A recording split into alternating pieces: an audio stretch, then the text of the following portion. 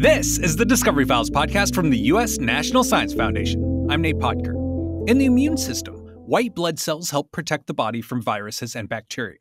A subset, known as macrophages, help eliminate foreign materials by engulfing and digesting them. These cells offer great promise for cancer treatment. Our guest today is Kolade Adebowale, a postdoctoral fellow at the Harvard John A. Paulson School of Engineering and Applied Sciences, who is investigating cell material interactions and recently published a paper looking at how these white blood cells interact with cancer cells. Dr. Adebowale, thank you for joining us today. Thank you for having me, Nathan. So, uh, I like to start with a little bit of the background, and I, I want to know how your interest in chemistry got you into bioengineering. Mm, very interesting. So when I was a little kid, like most kids at my age, I was very fascinated and into science fantasy novels.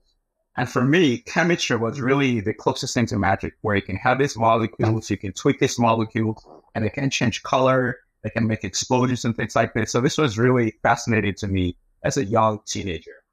And so then I began to realize as I went through high school and also through college that can use some of these ways of manipulating molecules to also transform biological systems to improve human health.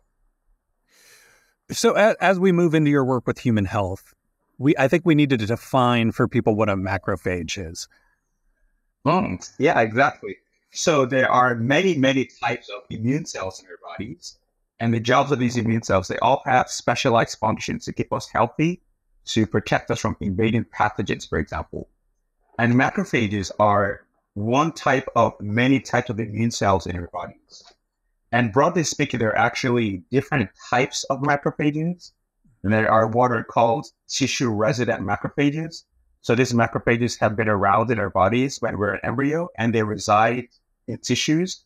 But there's another class of macrophages called, so they're, they're derived from circulating monocytes. And these are typically in the blood. So they are a macrophage precursor. And then under certain conditions, they are recruited to tissues and then they become macrophages. So those are the kinds of broadly the types of macrophages that we have. And the job of these macrophage functions, they actually perform many, many functions. But one of their functions actually comes from their name, which is from macro, which means large, and phage, which means eat. So they eat, they are large eaters. So they eat a lot of things. So things like debris or dead cells or invaded pathogens in our bodies these immune cells are very, very good at eating them up before these pathogens can spread and cause systemic problems in our bodies. Can people think about these the same way as they might white blood cells they've heard of? Like yeah. terminology is a little more familiar. That's exactly correct. So macrophages are you can think of them as a type of white blood cell. Exactly. In in some lab tests for cancer treatments, they've tried to introduce macrophages and had limited success. And this is some of what you've been working on with your paper. And I, I wanted to ask you, why are they not successful in clinical trials? Mm-hmm. So it turns out that these macrophages, it's sort of a, like an umbrella term. So there are different types of macrophages.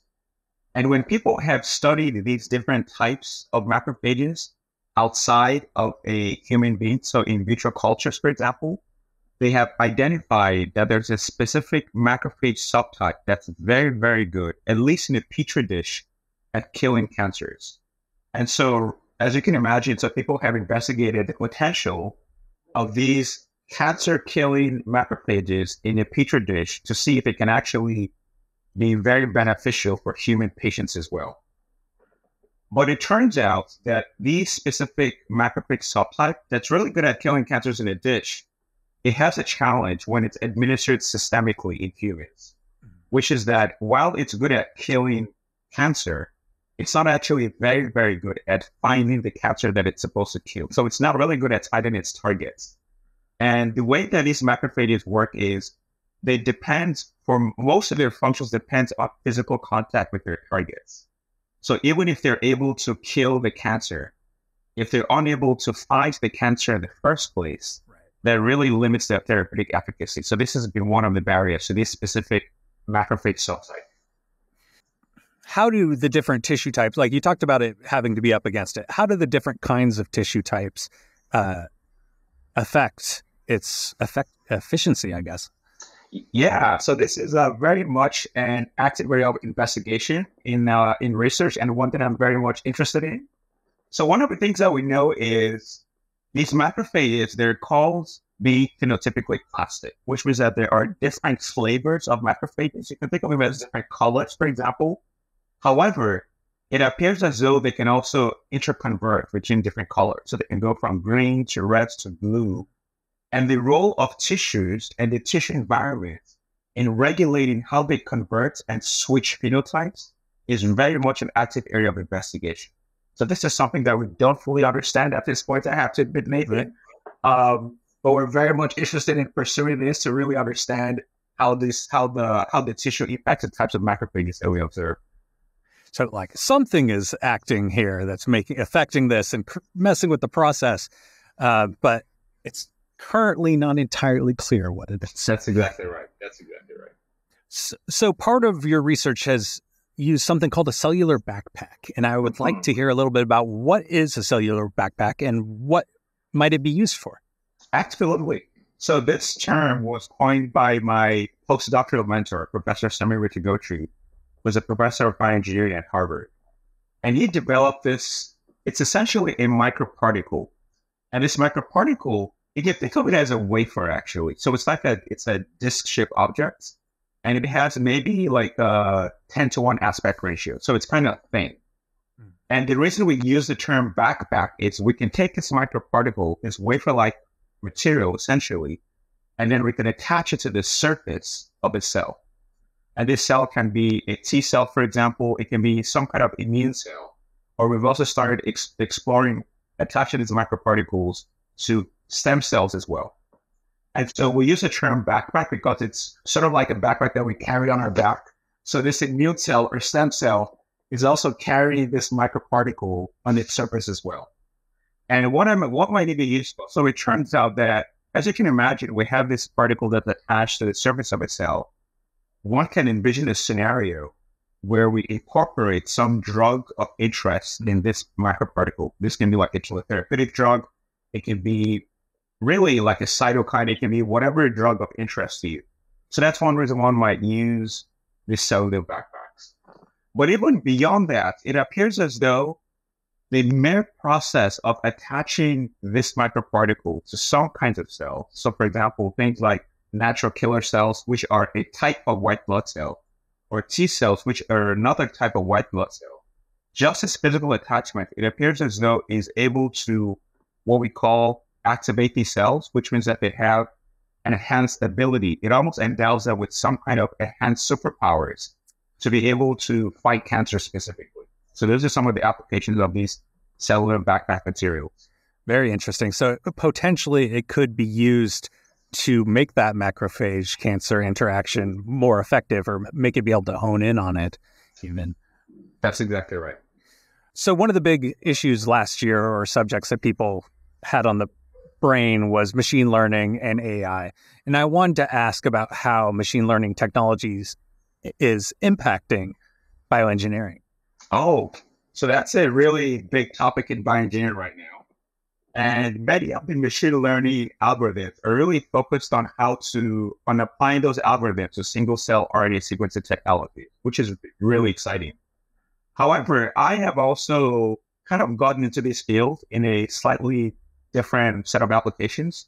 So our paper that came out in 2023, we used some machine learning algorithms to help us predict tumor infiltration of macrophages. And so this was a really exciting study. So in this study, we grew a tumor in a petri dish in a lab, and then we investigated the ability of these different types of macrophage subtypes that I mentioned to infiltrate tumors. And it turns out that with some some of the algorithms that already exist in terms of being able to segment out macrophages and also machine learning algorithms, we can actually predict quite efficiently the ability of different macrophage subtypes to infiltrate tumors. So this is one of applications specifically in my research. Very cool. So uh, one of the other things I wanted to ask you about is in 2021, you got a mathematical and physical sciences ascending postdoctoral research fellowship. And this particular award, I haven't talked to anybody about on this show. So I wanted to hear about what your experience is like and what work you did under that grant. Yeah, so I was really fortunate to get this uh, NS. This was an NSF fellowship, and it was actually I was the inaugural cohort for this mathematical and physical sciences assigned postdoctoral research fellowship. And this research fellowship, you know, it really has been transformative. So I got this fellowship right before I started my postdoc. And so going into the postdoc with some pot of money really afforded me the flexibility to do research that I was specifically interested in. And I was really interested in in the basic and fundamental interactions between these backpack, these microparticles and cells. So that's really what this fellowship was was was was funded for. And so it provided a lot of financial supports that gave me a lot of flexibility when I started my postdoc in 2021.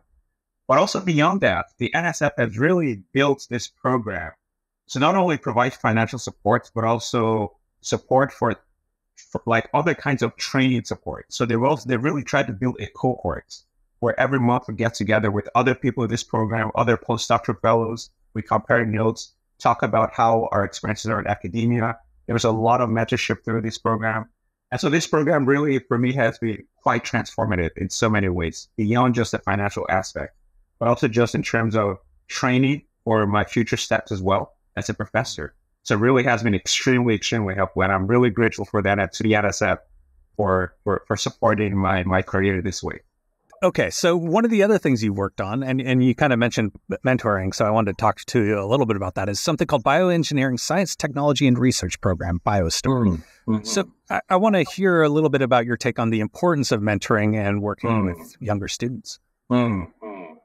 So I have a lot of thoughts on this. So basically, mentoring and outreach has been a critical parts of my scientific career throughout. And I you know, one of the things that gives me so much joy and gives me just bigger and life is working with students, specifically K through 12 students, and doing hands-on experiments and really trying to get them excited about science. Because I'm also I'm very excited about science. And I want to really contribute to the mission of encouraging and getting the next generation of scientists very excited about science as well. And to make them understand and realize that the research and scientific enterprise really we're really looking forward to their contributions to science as well. And so when I got to Harvard, I had this unique opportunity to work on this summer program, this BioStar program, where we have students come in and they do labs in our engineering in our engineer facility at Harvard.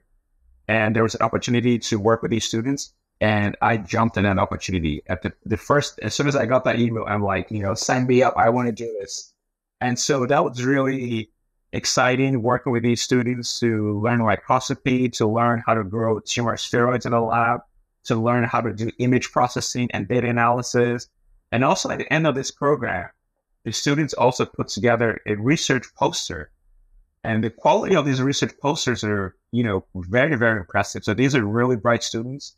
And this experience has made me very optimistic about the future of science in, in the country and it gives you a chance to really capture the imagination when you're doing it hands on because this is i'm imagining this is most of these kids first time being in a lab and seeing what actual science is or what that work might be that's exactly right that's exactly right so first time in a lab at a place like harvard the facilities are quite extensive and they get to work with their hands and it's not just they do they, there are lectures lectures as well but there are, also is a lot of hands-on experience working with teams. So I really think, and the students have always, they, they do provide some feedback after the program.